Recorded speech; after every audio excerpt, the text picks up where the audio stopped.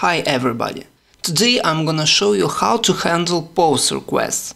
POST is an HTTP request method.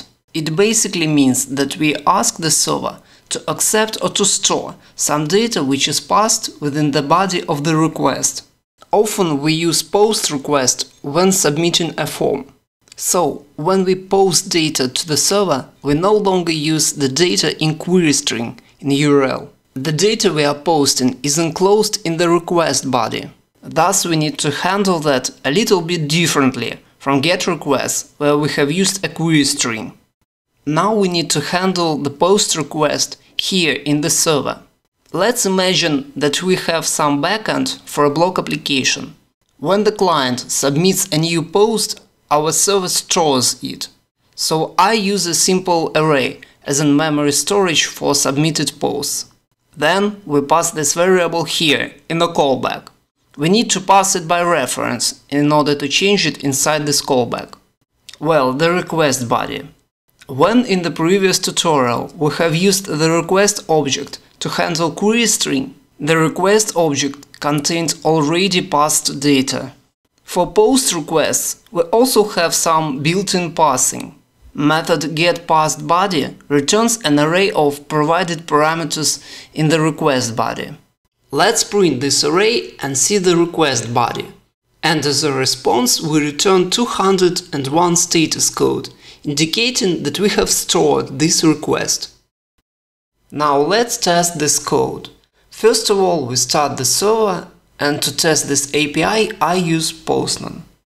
I paste URL here, set the request method as post and specify the body, title and body of the post.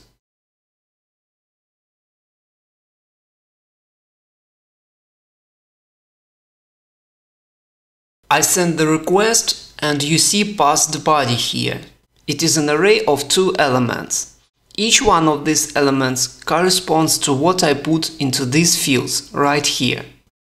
So we can grab the data now and store this array in the post variable.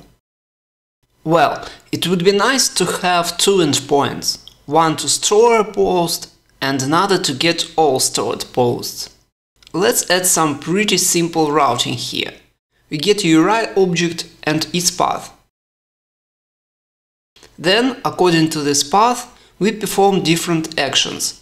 We either store a request or return already stored posts. Notice that we can't return a plain array. Response body always should be a string, so we return them as JSON.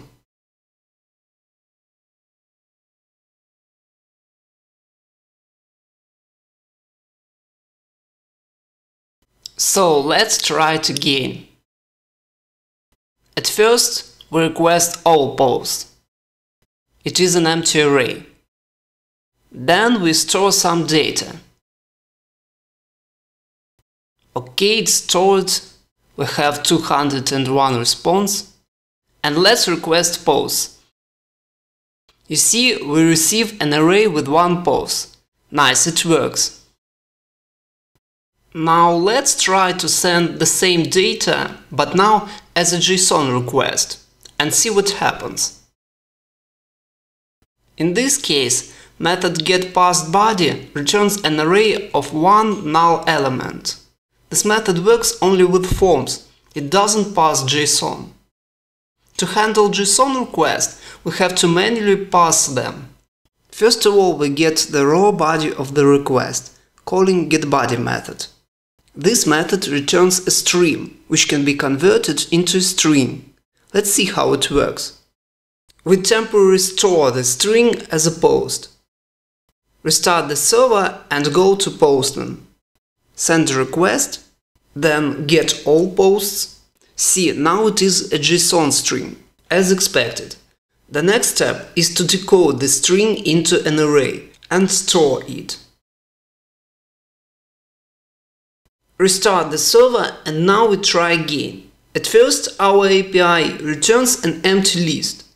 Then we send a new post request. Our post has been stored. Let's store one more post.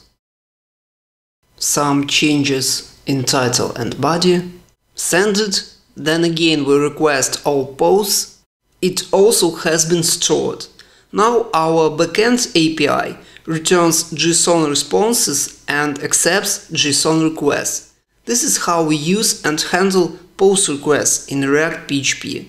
See you in the next videos. Bye!